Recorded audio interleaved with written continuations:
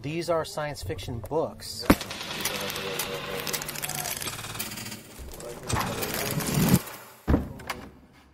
My name is Catherine Starr, and I am the acting branch manager at the Ingleside branch of San Francisco Public Library. You do not have a library voice.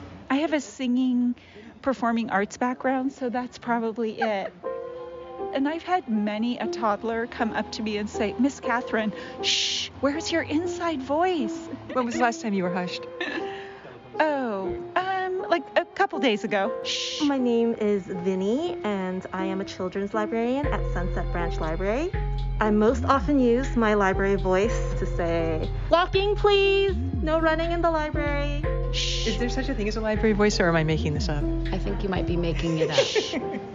My name is Jack Tilney. I'm the branch manager of the Noe Valley Sally Brunn branch, and this is my library voice. Oh, you don't have a different voice? Oh, I can make up a different one. Yeah, make up a different one. And this is my library voice.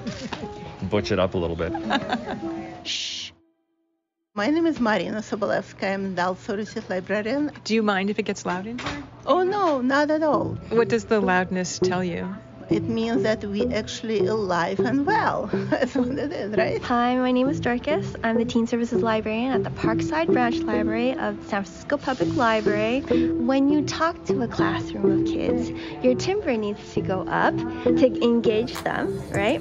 But when you're talking to adults or teens that you need to quiet down, you'll talk in a lower tone. And then when you're getting ready for them to get out of the building safely, you will uh, project your voice in a stern manner, but polite. My name is Ayan, and I'm the circulation supervisor here at Merced Branch. This is my library voice. Do you use that library voice when you're when you're feeding these uh, creatures here? I use the library voice when I'm feeding the creatures, when I'm talking to the creatures. Yeah.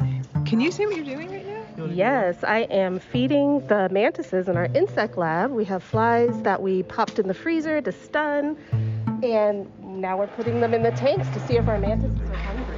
So she has like a little plastic container, and she is throwing in a little blue bottle fly. Give them a couple minutes, we'll see what happens. That one might get done quick. Uh, oh, whoa. Oh, we got it. I hope it's over quickly for the fly. Oh my god. My name is Michelle Jeffers. I think my library voice is like, Hi, welcome, come on in. when I started here, I was surprised because somebody said, We're not a shushing library. Have you had to shush people? No, I don't think I've ever shushed anybody. I, I have gotten shushed, and I almost got kicked out of the main library. The security guard came over and is like, Ma'am, you need to keep your voice down. And I was like, Okay. My name is Chao, and I am right now at the Chinatown Branch Library, and uh, this is my library voice. There's the myth that librarians are very quiet. We're actually super chatty. We all know this.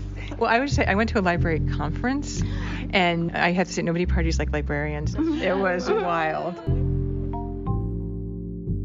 Shh.